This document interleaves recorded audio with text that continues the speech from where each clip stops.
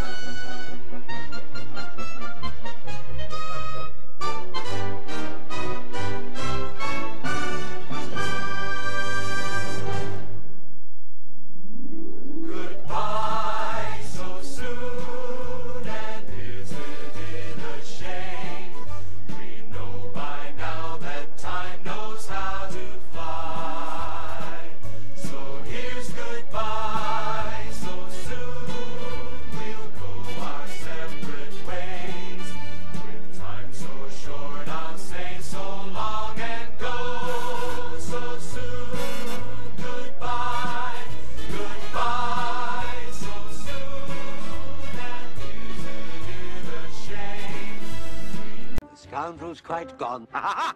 But not for long, Miss Flamhammer. Flavisham. Whatever.